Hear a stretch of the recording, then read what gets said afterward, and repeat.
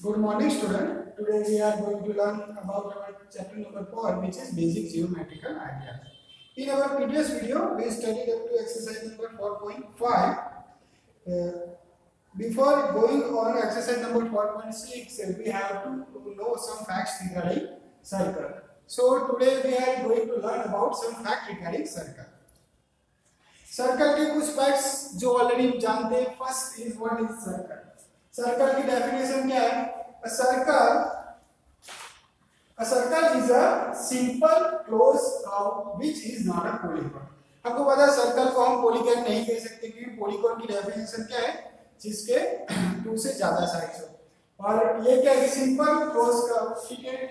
इसे हम क्या करेंगे सर्कल ठीक है?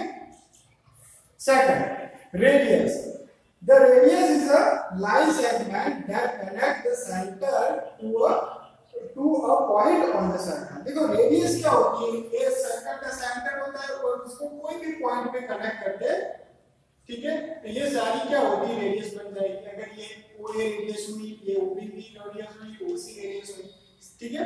वो सारी हम क्या कहते हैं? रेडियस कहते हैं, ठीक है? थर्ड है डायमीटर डायमीटर किसे कहते हैं? A line segment passing through a center. A line segment, a line segment passing through the center of the circle and having end point on the circle is called diameter of the circle. देखो circle का diameter जो centre में से पास हो ठीक है और उसका जो दोनों पॉइंट है वो भी सर्कल हो तो ये अगर सेंटर है बी तो ये क्या हो गया? लाइन सॉरी डायमीटर हो गया। ये क्या हो गया? उसका डायमीटर हो गया। उसके बाद बाद में आता है कॉर्ड कॉर्ड किसे कहते हैं? Line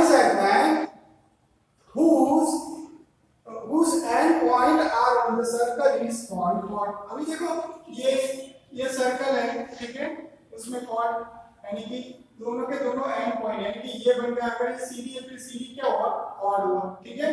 वैसे ही अगर यहाँ पे ये भी एक कॉर्ड होगा, ठीक है? A line segment whose end point are on the circle is called quad उसे क्या कहते हैं? क्वाड कहते हैं, ठीक है? उसके बाद में आता है आर क्या आता है? आर आर के किसे कहते हैं?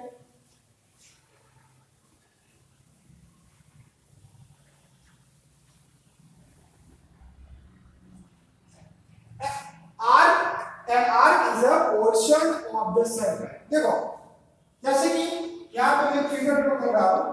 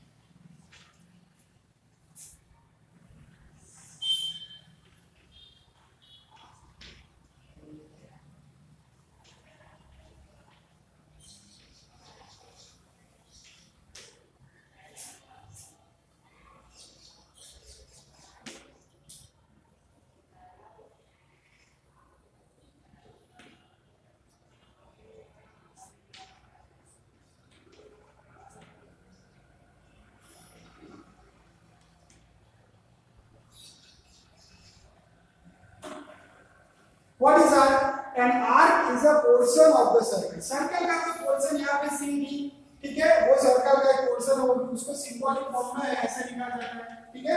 ऐसे। सी डी ठीक है? उसके बाद में आता है सेक्टर सेक्टर किसे कहते हैं? A region in the interior of the circle ऐसा रीजन जो सर्कल के इंटीरियर में होती है?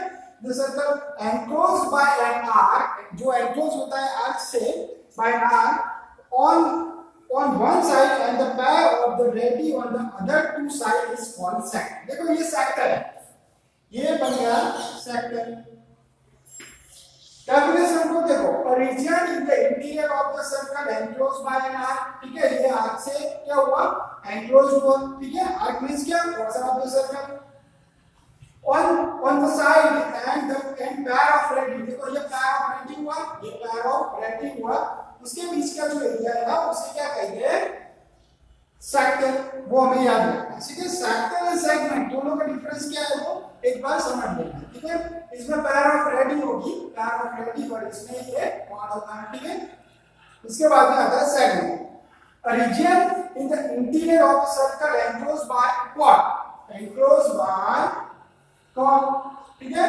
और एनक्लोज बाय arc है. ठीक है? And arc is called segment of the circle. तो ये ये क्या हुआ? ये पोर्शन हुआ सेगमेंट और ये पोर्शन क्या हुआ? सेगमेंट ठीक है? उसके बाद में आता है the distance around the circle is called circumference. Circumference that means पूरा ये पेरीमीटर टाइप ठीक है? ये पूरा इसका एडिशन करेंगे. ठीक है? तो जैसे कि इसको सर्कमफेरेंस मुझे फाइंड करना है तो अगर इसको मैं ऐसे छोड़ के ऐसे स्ट्रेट कर दूँगा तो वो उसका क्या बन जाएगा? पेरीमीटर यानी कि उसका सर्कमफेरेंस बन जाएगा। ठीक है?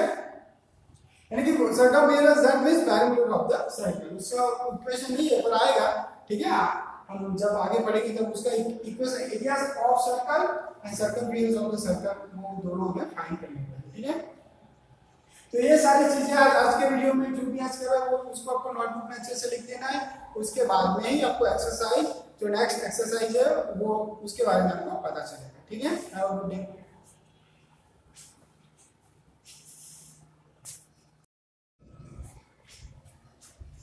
good morning student today we are going to learn about our exercise 4.6 और chapter number 4 basic geometrical ideas 4.6 question number 1 से that from the figure identify जो फिगर में से हमें आइडेंटिफाई करना है. A question number A the centre of the circle इसमें हमें center क्या दिखाई देता है? O. यानी कि center of the circle यानी कि A का आंसर क्या आएगा? O. Center क्या है? इस सर्कल का O. वैसे ही B the radi radi that means a plural form of radius. ठीक है? कितनी radius? एक से ज़्यादा radius होगा तो उसे radi कहते हैं। ठीक है? थ्री uh, रेडी तो यहाँ पे uh, जो क्वेश्चन है थ्री रेडी तो थ्री रेडी कौन कौन से? ओ ए ओ बी एंड ओ सी ठीक है ये तीन हमारी रेडी हो गई। ओ ए कितना? ओ बी एंड ओ सी ठीक है? थर्ड सी डायमीटर डायमीटर कौन सा? ये वाला पूरा जो सेंटर में से पास करता वही होता है डायमीटर तो डायमीटर क्या है? ए सी डायमीटर क्या है? ए सी ठीक है? तो सी का आंसर क्या आएगा? ए सी डी में है डी का कौन सा है यहाँ पे?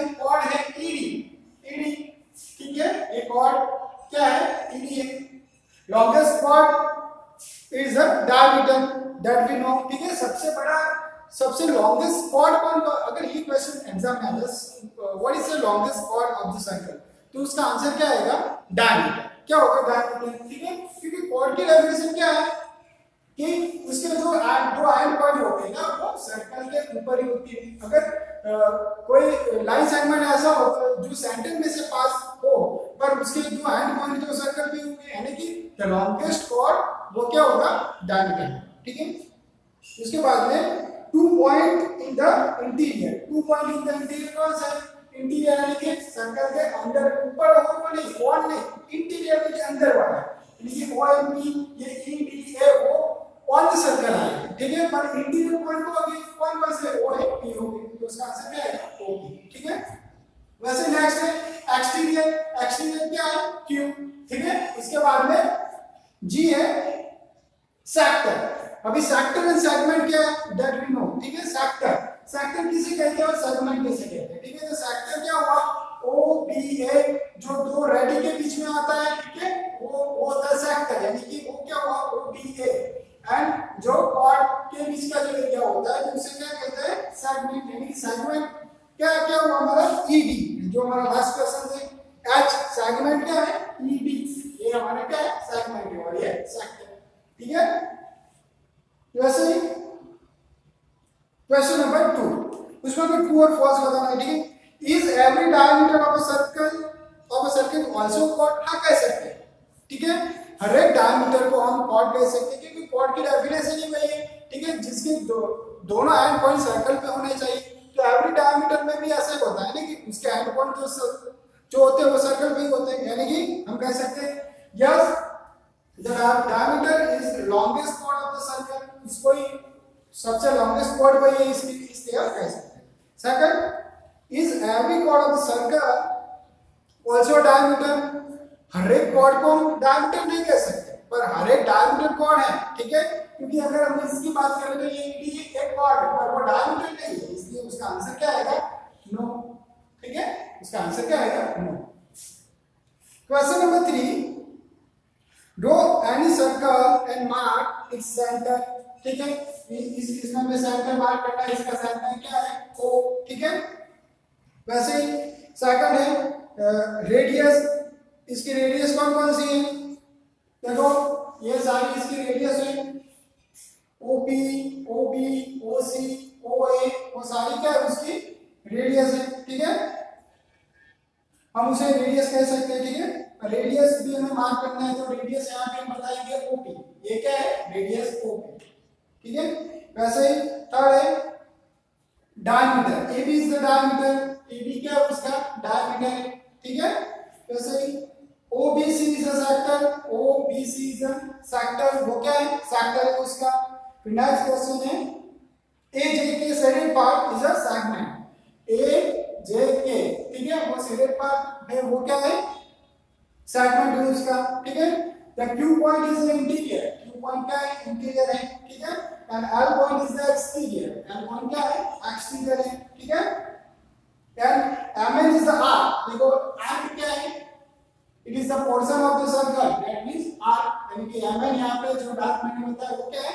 आर्क है, ठीक है? और उसको ऐसे लिखा जाता है, ठीक है? आर्क आर्क के फॉर्म में ऐसे, ठीक है? उसके बाद में क्वेश्चन नंबर 4 में फॉर से ट्रू और false two diameter of the circle will necessary intersect हाँ ऑलवेज करते हैं देखो टू डायमीटर भी डायमीटर होता है जैसे कि ये डायमीटर और दूसरा ये तो एक दूसरे को इंटरसेक्ट करेंगे इसलिए उसका आंसर क्या आएगा? यस उसके बाद में the centre of the circle is always interior always interior होता है क्योंकि वो तो सेंटर है इसलिए उसके अंदर ही होता है, लेकिन उसका आंसर भी क्या आएगा? यस ठीक है? तो आज की ये पूरी एक्सरसाइज आपको अच्छे से नोटबुक में लिख देनी है ठीक है? इस, इसके अगले वाले वीडियो में हम न्यू चैप्टर स्टार्ट करेंगे और यही आपको होमवर्क है और मुझे व्हाट्सएप के ये लिखने के बाद मुझे करना है ठीक है।